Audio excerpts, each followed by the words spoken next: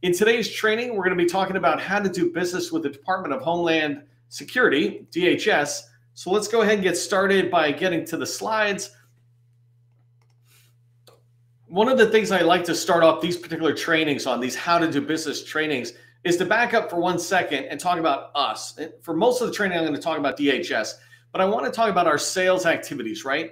And in particular, what I'm going to teach to you today is a proactive, not a reactive approach to selling.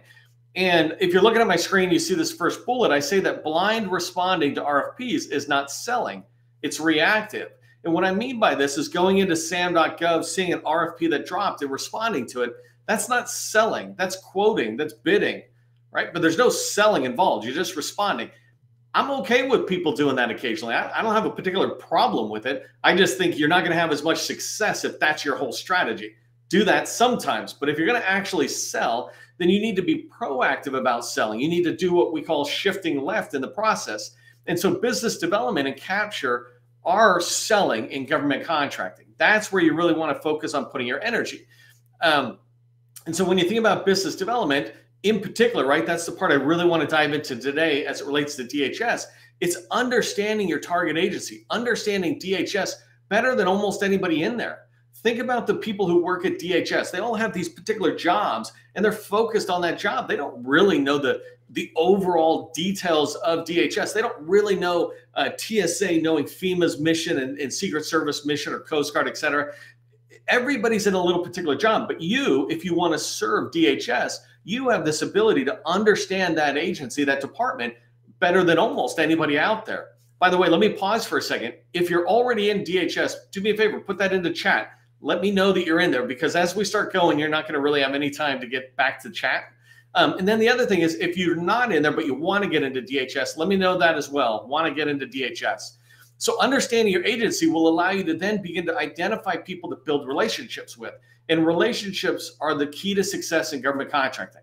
You want to be able to have relationships so you can talk to DHS personnel about their agency, about their goals, their challenges, et cetera. And so you need to build these relationships. And I'll talk a little bit about that. I've done a ton of training on it. And then the last thing in business development, as part of this proactive approach to success in DHS or selling into DHS, is identifying opportunities, identifying them early, and then beginning to pursue them.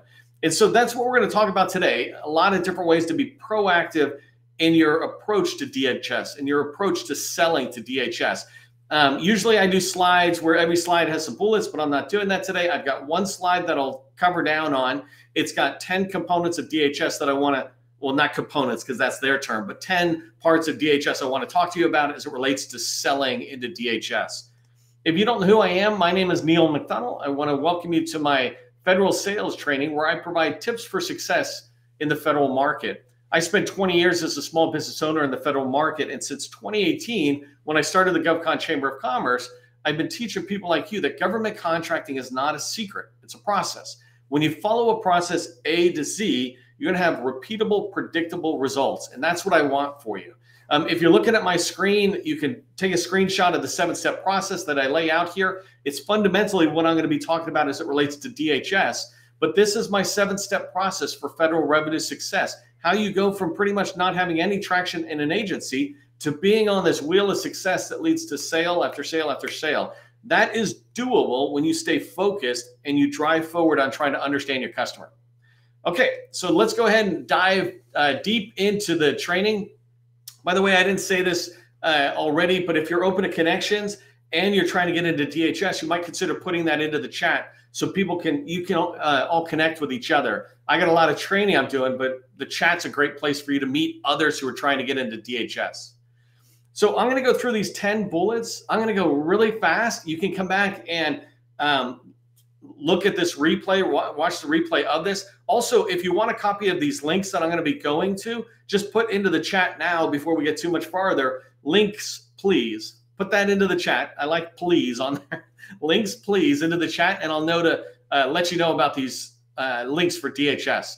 So let's get started. First thing I like to do when I look at any organization, but in DHS in particular, is I like coming in and seeing how their uh, department is organized, right? And each one of these boxes has its own org chart. And I can keep going down further and further and further. But my favorite thing about looking at something in here is I begin to sit there and put X's and, you know, like red marks on the ones that I won't pursue and, you know, circling green pen, the ones I will. And the idea is I want to start looking at these, these uh, components or parts of DHS and say, which ones can I help with the most? Which ones am I most likely to go into? So as you continue to do research, you're going to learn more and more about which agencies or which uh, offices within DHS you can go after. One thing, if you don't know this, DHS calls their subordinate agencies like uh, Secret Service at the bottom here, CISA and TSA, Coast Guard. They call those components. I call them agencies because they are agencies. Um, but in DHS, you've got this mix of components slash agencies and offices. And so that's, you'll hear me use them back and forth. Management directorate over here on the left is a big one to be, you know, for me to be paying attention to. So you want to take an org chart like this and begin to do that same activity. Mark off the ones that don't make any sense. Like right here, um, countering weapons of mass destruction office. You know what? I'm I'm going to skip out of that. I don't really know anything about that. Um, I might stick stay completely away from Office of General Counsel. Going, you know what? I, I don't really have a legal expertise. Leave that to the people who are in the you know the legal tech or legal side of the house. But I will go over here to like CIO and say, let me go to there. I will definitely pursue each one of the major agencies or components. And so again, do that yourself. So you understand the organizational structure of an agency. You're beginning to get an idea, saying, okay, this is how it looks. And by the way, I mean going further and further. I do this in the Air Force, and there's a major command within the Air Force, and it has over a hundred different program offices or subordinate commands within it. I go that far down, and that's where you should be going down. It's not a lot of effort if you're trying to get millions of dollars out of DHS in contract dollars, right? Eventually, that's where you're trying to go if you're not there already. So, number two, we want to understand um, the long-term goals and objectives. Number two here, the strategic plan documents or planning documents. That's about looking to the future. Where are you trying to take DHS, and how might I might how might I might be able to help you? Whatever. How might I help you? Right. And so here's um, an example of their strategic plan. One of the cool things about DHS is they have a ton of plans. Every component, when you go down to it, you'll see a plan down there. But the idea of the DHS strategic plan is it gives you so much information. You can see over here on the left hand side their major goals, right? Whatever opportunity you're pursuing, whatever you're doing, take the time to begin to figure out well, how does it align to certain goals? So, right here, secure cyberspace and critical infrastructure. I might say to myself, well, you know what? I'm a cyber company and that's 100% uh, in our space. But if I look at um, secure US borders and approaches, you know what? I'm not even going to look there. Even if I could touch on it as a cyber company, I'm going to lean heavily into goal three. What I don't need to tell DHS is that I can cover down on all five goals, right? There's thousands of us. They don't need all of our small businesses covering down on all five goals. What you want to do is to be able to say, you can cover down on goal three. And then as you look at goal three, and I'm not really trying to show you the words here, but as you start looking at goal three, you can start seeing objectives. So I have customers that do zero trust architecture and they do enterprise network engineering and cybersecurity related to that. That might align to securing the federal civilian networks, right? How everything is working together. When you read a strategic plan, you start seeing a lot of that information. Let me show you one more thing here with the table of contents on strategic plan. It takes a second. There we go. Um, so you can see how it's broken down, the goals, the objective. Just like I said, circle the org chart for the organizations or program offices you support. Come in here. You should have this printed and go, I want to get into DHS. These are the objectives I can support. Right. And so, um, one other thing though, as you're looking at the strategic plan, make sure you're coming down and looking things like their um, uh, agency priority goals, right? And they've got their here, it's their 2019 performance measures, but you can see future ones, and I'll show you that in a minute. But take a look at what they're trying to do. Remember, I said uh, I'm a cybersecurity firm for today's training. I want to look at strengthening the federal cybersecurity. That's a priority goal. That means this is one of the most important things that DHS is trying to get done. I want to understand more about what they're trying to accomplish, et cetera. And I can do that by digging in to the main strategic plan. Again, every agency or uh, subordinate component within DHS has their own plan. Here's just one I wanted to show you as it goes to the side. I've shared a lot of these on my LinkedIn profile, but here is the IT strategic plan. So one is for DHS's overall strategic plan for what they're trying to do with Homeland Security, right? Now it's coming down and, and there's several different plans that they have that are more vertical related information technology. There's another one that I shared about environmental sustainment, Um, I, I just shared one on the Marine Corps that was climate, how they protect their bases from climate issues like hurricanes and other things like that. Well, you can start digging down and finding similar documents like that, but they're all strategic plans, right? They're all talking about how are we going to get done what we see needs to get done. That's the way forward. Um, and that's generally four-year plans, right? They, they tend to go in administrations. And so four-year plan. Number three is annual performance plan. Sometimes I find this in a performance plan, sometimes annual report, but basically we're talking about just a one-year snapshot now. So if I click on this one really quick, and let me just load the other one as well, so I just track on my time. Um, so here, this is an agency financial report, 330 pages of pure gold, right? It's not enough to grow your company by looking into SAM, seeing an opportunity, responding. You're not going to grow to a big company. Can you win a contract or two? Sure. I love doing that. If I can find someone to just do it, that's great. But that's not becoming a partner with the agency of choice, right? If you really want to support DHS, if you really care about Homeland Security's mission, you will begin to understand their mission in depth. And they make it easy for us. They create these plans for internal use, right? So everybody inside has a good common understanding of what we're trying to do as an organization or agency um, and but they allow us to see it on the outside as well. And so in here, if you come down, I'm going to go pretty fast down to a couple of slides here, but you just see this evolution of some of the things they've been doing. Um, here is just more stuff on reaching them. Where am I trying to get? Right here is where I was trying to get. So about this report, right? In here, they're talking about uh, detailed financial information related to what they're doing, right? They're talking about highlighting priorities, strengths, and challenges and this is really important, right? Again, I don't have a lot of time to go into any one of these documents, but when you look at a document like this, you can see them saying, I'm complaining about this. Sales is about first understanding and hearing a customer's problems, then making that problem really be big in the customer's eyes, and then start talking to them about solutions. This is the start of it. They're telling you completely transparently, hey, this is what we're running into. Um, here's another document. DHS breaks their strategic plans up into multiple documents. But this one, I love how they just titled this other information. But look how golden this other information is right here.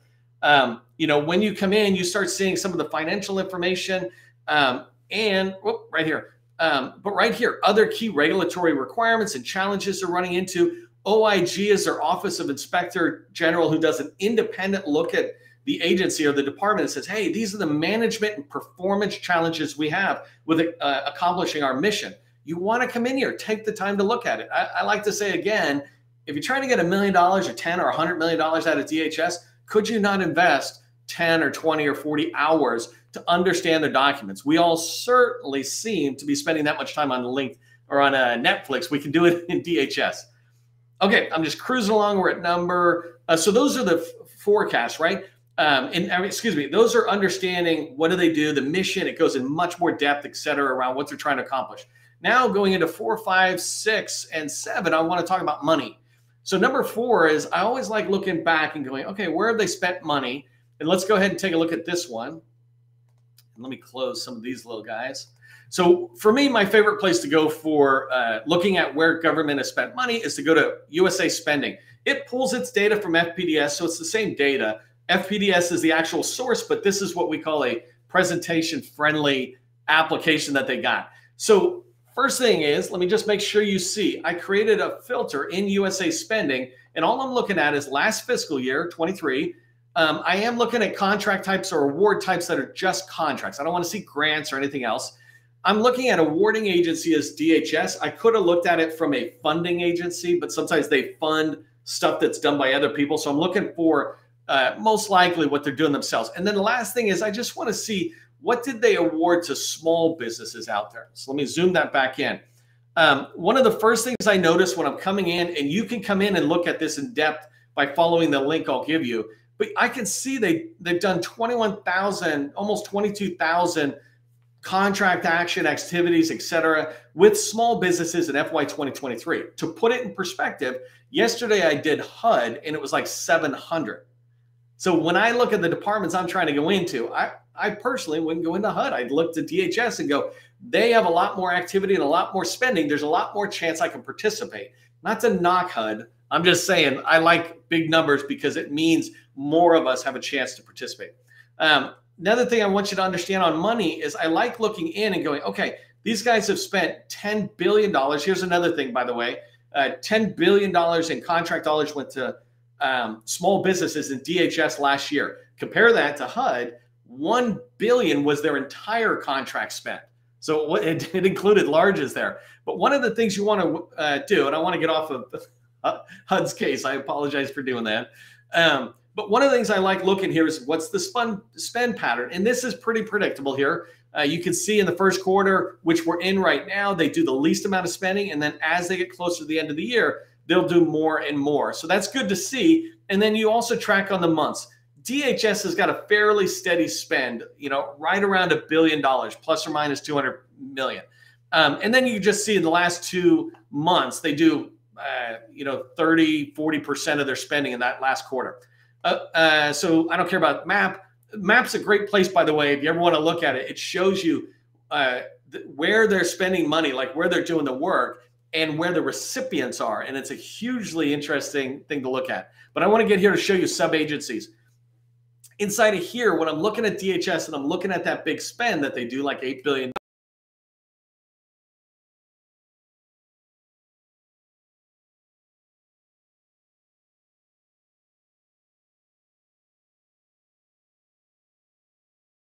is also the number one for 8A I did recently, but Coast Guard and then its headquarters. So OPO or whatever that acronym is, right? OPO. That one is um, headquarters. And so when you start looking at this, you get an understanding where that spread is. But it's really interesting for me when I'm looking at DHS, especially when I'm trying to decide where do I invest my energy. I had somebody contact me this morning asking me to train their junior business developers to get in and start doing stuff. Well, the first thing I would say is keep those people working on the top just let them be dedicated to CBP, dedicated to Coast Guard, and get in there. Um, okay, one more thing I wanted to just show you right here. I'm showing you spending by award. I mean, by agency. You can also look at the industry codes. Uh, I like just going to the NAICS codes, and you can see what are they spending money on from a, a very quick level. But the interesting thing is, um, the top two are IT. For the other training I've done this week, the top four or six were IT or, or professional services. But you notice right away it jumps to security uh, guard, patrol services. This makes a lot of sense because of DHS's mission. But this is a good way to see and begin to see where the spending is. You can use USA spending to dive even deeper on that. All right, so that's where they've spent. Now I want to look at where they think they're going to spend money. So the first place is in their budget. And I just want you to come in. This is not their full budget. This is actually just the summary. Um, and so in here, you can go in and begin to learn about how they're spending. I just like coming down here. Um, really quickly, I can come into DHS and see a breakdown for each one of their component and major component agencies and major offices. You want to do that same thing. And then each one of these agencies has its own uh, budget documentation that you can go look at and dig further in. Like I said, this is 119 pages, but I could dig much, much further. If I was looking for um, cybersecurity, for example, and not that not those guys but uh, if i just look at cyber let me jump down. I can start seeing where some of their funding priorities are and so, uh, how they're funding not just dhs but how they might be funding other agencies. You can do the same thing. It's a great way to go through budget documents because there are a lot of pages. If you go through it and do a control f or however you do it on a mac and search the document you'll be able to see these major programs coming up. But keep in mind the document i'm showing you here and that i'll send you it's just a brief. There's entire document sets, and you should take the time to get to uh, to understand them, right? Because 80% of what's in them you won't look at. They're tables and other stuff, but there are pure gems within those documents that once you develop the skill on reviewing budget documents, you're off to the races. All right, and again, I'm moving super fast because we're, you know, we've got a short amount of time. Uh, DHS does a great job with their forecast tool. Here it is. Um, you can come in and look at it. For the most part, what I like to do is just come back and over here, I just clicked twice on forecast publish date, and I can see since the last time I looked at the forecast, has anything been added, you know, and so or changed or whatever. So this is their published forecast. Actually, I need DHS to tell me is this modified and created or just created new? Um, but this ability to come in here and look at it, you've got all these great filters. I'm not going to show you training on how to use this, but one thing I like to do is right here. You have the ability to export it out. So I can see where they're spending money. What you don't want to do is export this out and put it into your pipeline. I export it out and just keep it in a spreadsheet because it's easier to use than than this tool for me. I quickly go through and I find the slam dunk opportunities I want to pursue and I get rid of the rest.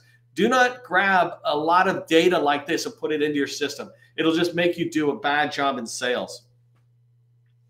Um, okay, so contingency plan, I'll just go really quick, but the idea of this is if the budget doesn't get passed or if there's continuing resolutions, et cetera, what uh, services do they buy or what parts of DHS basically get shut down during a government shutdown and which parts continue going, right? Essential services. You want to come in here, understand what you do, and then understand what DHS thinks about it. That way you don't get shocked. You don't go, oh my gosh, the budget didn't get passed. I, I was so surprised that DHS did this.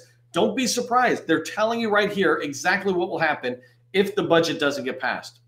Um, number eight, DHS does not have a supplier portal, so just make sure uh, DSBS is uh, very good. So the dynamic small business search is your small business profile. DHS does a great job letting us know who to call for each one of their agencies. And so here on this link, you come in and you can uh, check out the different people who are in here. So here's TSA as an example. There's uh, Robert, Margaret. You've got a phone number, you've got an email. DHS encourages you to reach out to two people to, or two groups of people, these people, but also in that forecast, if I still have it, in the forecast, they're generally, and let me just click on one really quick. There are generally points of contact, like right here. These typically are in the program office. And so DHS does a good job trying to give you contact information for people to reach out to and call. But these are great people to start navigating your way forward. We do this all the time with our customers. The first place we get them to talk to is the small business office. So they're building a relationship with them. That way, as they continue to navigate within DHS, they have the ability to go back to their focus or receptivity, Margaret or Robert, as an example, and, and ask questions and get more guidance, etc. But these people should be in DHS. They should be on your radar, and you should be building a strategic relationship with them. The last thing I wanted to show you is just on DHS has like 230,000 employees. Um, many of them are on LinkedIn. So if you come in here to uh, LinkedIn company page for DHS, the part that I like though is if you just click right there on employees like I did, you see 34,000 of those are over here on LinkedIn. You can come through and start finding a lot of these people. Right here's a division chief. Um, this is a division chief for the that whatever that thing was called. I, I forgot what it's called. Um, where's Fleck? Somebody find it for me. Oh, I lost it, but it's it's a uh, like law enforcement. You can't find things. There it is. Federal Law Enforcement Training Centers, right? And so right here is a division chief for Fleck over there. I don't know what it is, but I might take Michael's name. Now that I came into LinkedIn, I know who he is. I've discovered him. Let me go learn about him and decide you know is is it making sense for me to reach out and contact him? But this is awesome right? When you when i hear people say i can't get into dhs or i can't find people this is sales. Sales is about doing your research building a list of one or 200 people out of dhs's 34000 that might be good for relationships right? Don't research these people a lot a little teeny bit just to make sure you want to call them and then reach out and schedule a meeting. When you do that from information like this um, you really be able to get further within DHS and start building some success. So if you want a copy of these links, do me a favor, just put in the chat links, please. Here's what I want you to remember from today's training. Buyers don't care what you know until they know that you care. Buyers don't care what you know until they know that you care, that you care about their goals, their challenges, their mission, what they exist for, right? And when you do your research, you're starting to care. You're demonstrating to them that you care. And that's really important part to helping them understand that you care. And it's also a vital step to the third bullet here is building strategic relationships. You will then be able to start building these strategic relationships. Only when you have strategic relationships, which all of us can build, when you have those strategic relationships, will you have a lot of success and be able to hit the goals that you want. You don't want to focus on your goals. You want to focus on meeting people and building those relationships. Those will help you hit the goals.